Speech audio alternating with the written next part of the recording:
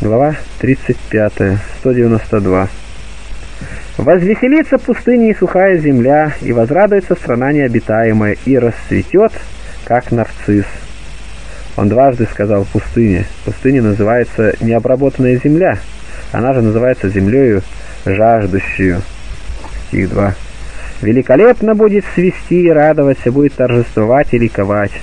Слава Ливана дастся ей, великолепие кормила и Сарона, они увидят славу Господа, величие Бога нашего. Этими словами пророк показывает перемену в мире вследствие пришествия Христа. То есть люди, жаждущие, бездеятельные, будут пить живую воду учения Христова и увидеть славу Господню, как сказал Иоанн. Мы видели славу Его, как славу единородного от Отца. Слова и высоту Божию показывают, что Он, Христос, вознесшись на кресте, превзошел всех, которых называли богами. Стих 3. «Укрепите ослабевшие руки и утвердите колено дрожащее, скажите робким душою, будьте тверды, не бойтесь, вот Бог ваш придет отмщение, воздаяние Божие, Он придет и спасет вас». Эти слова Павел писал к евреям, чтобы Бог был помощником для притесненных, поддерживал руки расслабленных и побуждал их. Подобно тому, как воин-муж доставляет помощь ослабевшим. Видишь ли, не из испытаний, но из малодушия происходит оставление. Вот Бог наш воздает суд. Придет Он сам, а не иной, так как никто не мог совершить нашего спасения, Он воздаст прежде суд. Смотри, как пали дела иудеев. Город их разрушен, Иуда удавился, Ирод, отец и сын умерли позорнейшей смертью, Сафира подверглась казни, пораженной внезапной смертью, та же и Волх, и Лима. Невозможно ли Богу наказывать каждого в этом мире? Но выслушай, что говорит. Бог не до конца гневается. Псалом 102.9. Если бы он тотчас наказывал по тяжести греха, то уже давно весь род человеческий был бы истреблен. Но не только здесь, а и в будущем веке он будет воздавать им, иудеям и прочим. То немногое, что он показывает теперь, обнаружит иногда наказание, иногда покой.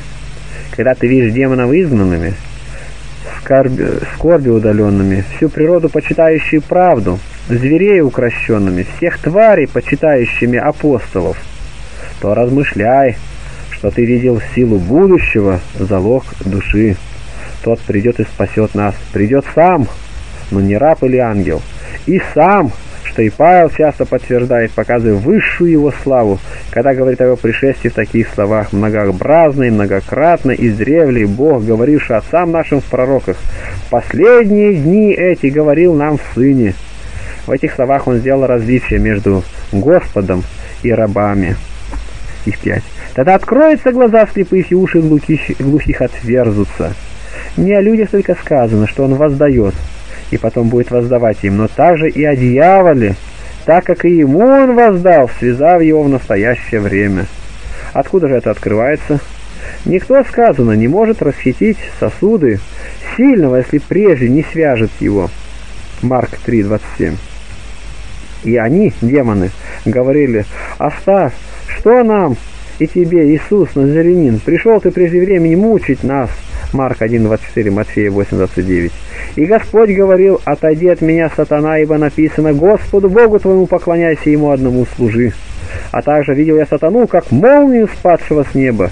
И потом даю вам власть наступать на змеев, на скорпионов и на всю силу вражию. Тогда откроются очи слепых. Будут исцелены телесные члены, необходимые для приобретения сообразного познания о Боге. Дьявол ослепил наш путь, заключил пути знания, которые ведут нас к Богу. Выслушай блаженного Павла, который говорит, «Ибо невидимая его вечная сила от создания мира через рассматривание творений видимы». Но как может видеть то, у кого нет глаз? Об ушах же он сказал, «Слух же услышите». Если кто не имеет ушей, то как он может слышать? Но тех, которых ослепил враг, пришедший Христос исправил – не только обновил телесные члены, но и нравы душевные. Что польза, если просвещены внешние члены, когда ослеплен разум? Часто и при открытых глазах не видит. Но если он, Христос, делал врачевание для глаз, то тем более сделает его для душ, когда заблуждение проникло в ум, или когда какая-либо болезнь возмутила правильный порядок душевной жизни. Так это и было. Христос все это устранил, тогда вскочит хромой, как олень. Он даровал не только телесное здоровье, но всем приступающим к святым рукам его разрешение от уз душевных. И ясно будет говорить язык косноязычных. Невежды и необразованные победили мудрецов и философов, кроме народа иудейского, который, будучи упрям, ожесточился в отступлении, не послушал священного писания и уклонился от спасения. Стих 7. «И превратится призрак вод в озеро, и жаждущая земля в источники вод. В жилище шакалов, где они покоятся, будет место для тростника и камыша». Пророк показывает неожиданное совокупное получение благодеяний и прохлаждение жаждущих душ. Нет иной более суровой пустыни, как бездеятельные, невозделанные души, ставшие обиталищем зверей, подобно тому, как в пустынях обитают звери и произрастает терния, так и в душах людей. Тоже говорил и Христос. «Кто жаждет, иди ко мне и пей. Уверующий меня, как сказано, и в чрево потекут реки воды живой». Почему он говорит «источник будет»? Сообразуется со святостью христиан и умерщвляет силу страстей. После крещения, после просвещения это будет, так как мы ничего не имеем от себя самих – но все нам даровало благоволение Божие. Там, где шествуют ноги царя, каким образом не будет чистым и святым путь? Там, где бьет такой источник, каким образом потоки не будут напаять жаждущих душ? Стих 8. «И будет там большая дорога, и путь по ней назовется путем святым. Нечистый не будет ходить по нему, но он будет для них одних, и идущие этим путем, даже и неопытные, не заблудятся. Льва не будет там, и хищный зверь не взойдет на него, его не найдется там, а будут ходить искупленные. Очистим же самих себя, когда станем пришельцами Господа, чтобы идти по этому пути. Никто, шествующий при свете, не может уклониться от пути. Не будет там льва. Что это за лев? Тот, кто желает считаться львом, желает, чтобы его слуги считались злыми зверями. Все таковые, как бы ни старались, однако не принесут никакого вреда истинно верующим. Те, которые ходили путями грешников, освобожденные и собранные Господом, искупленные ценой Его святой крови, пойдут по пути Его. Хотя кое-что из этого было видимо во время возвращения из плена, однако вполне это исполнилось во время пришествия Христова. И возвратятся избавленные Господом, придут на Сион с радостным восклицанием, и радость вечная будет над головой их.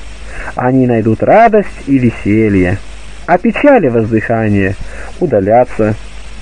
Хотя некоторые полагали, что все это исполнилось во время возвращения из плена, однако тогда не могло быть, чтобы не было больше скорби и печали и воздыхания, чтобы они отбежали.